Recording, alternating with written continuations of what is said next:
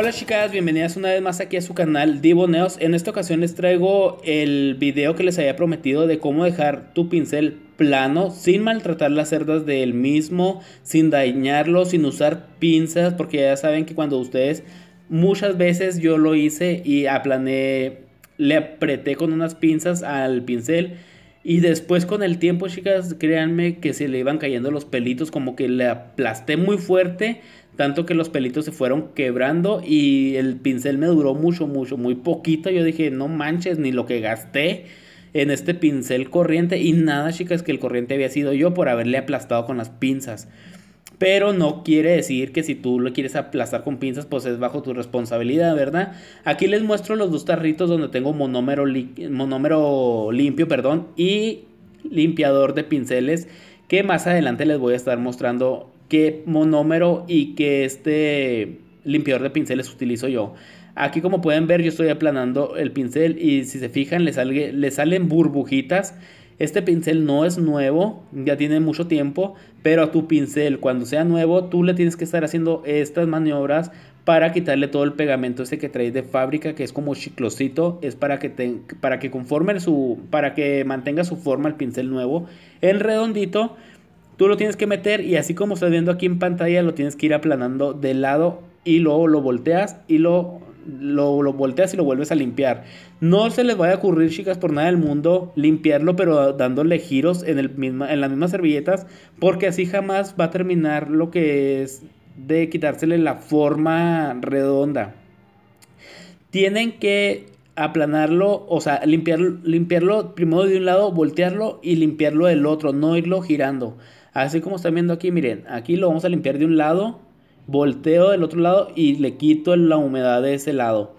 Así lo vamos a hacer sucesivamente varias veces.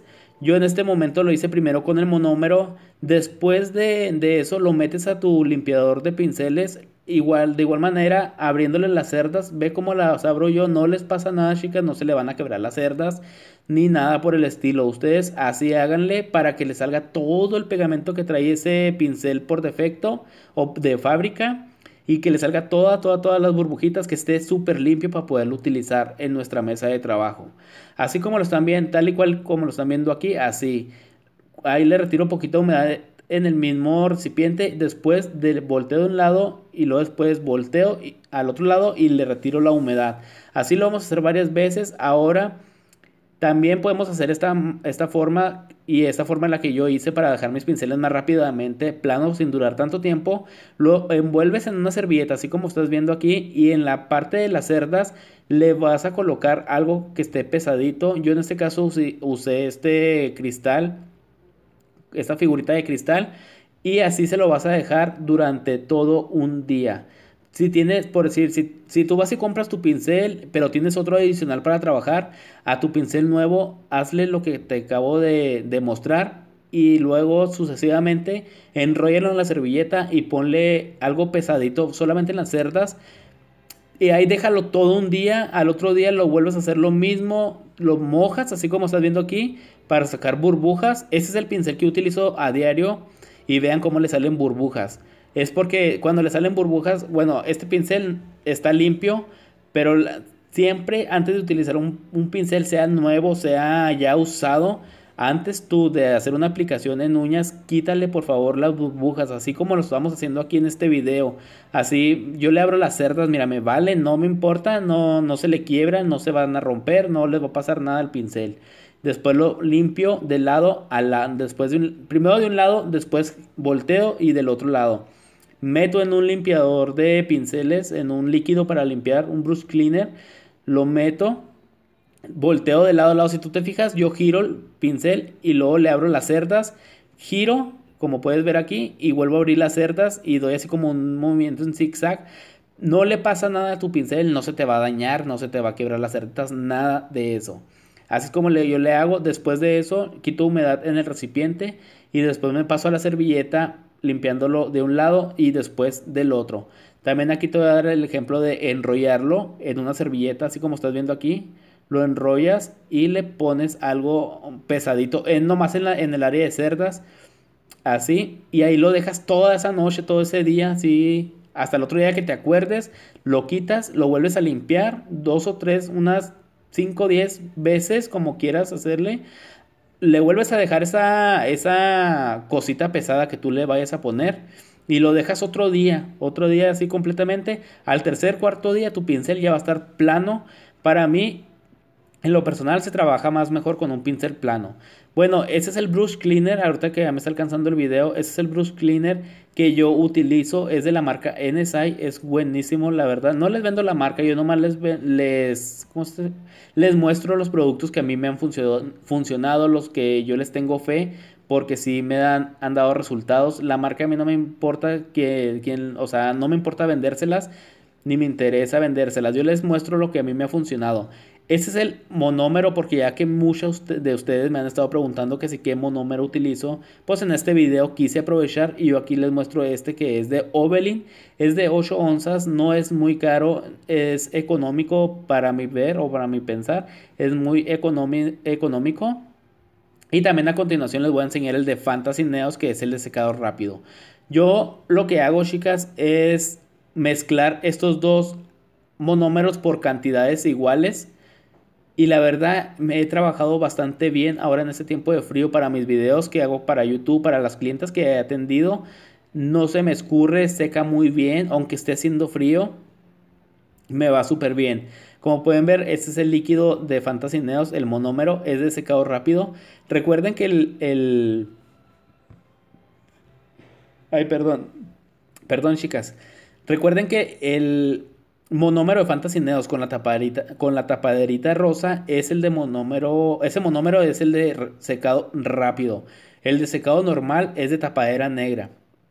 Pero pues a mí, como les digo, a mí me ha funcionado el mezclar estos dos por cantidades iguales y me ha funcionado de lo más mejor. Me gusta mucho cómo trabajo con ellos y pues yo nomás ahí les paso el dato. Recuerden que el, monómero de Fantasy Neos, el, olor es un poco más fuerte, chicas, es, muy, es más fuertecito, así que si a ti te molesta mucho el, olor del monómero, no, no te lo recomiendo que lo uses solo, porque sí huele muy fuerte, pero si lo mezclas como le hice yo en este caso, que lo mezclé con el de Ovelin, no, no queda el olor muy fuerte, como que, como que predomina más el olor del monómero de Ovelin, que huele como casi la mayoría de todos los monómeros.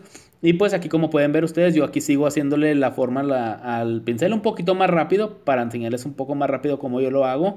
Pero recuerden que si hacen estos pasos, este video yo solamente se lo subo pues para, para pasarles el tip de cómo yo es que hago los pinceles planos, mi experiencia, cómo lo logré, cómo lo hice y la verdad me funciona mucho mejor que un pincel redondo.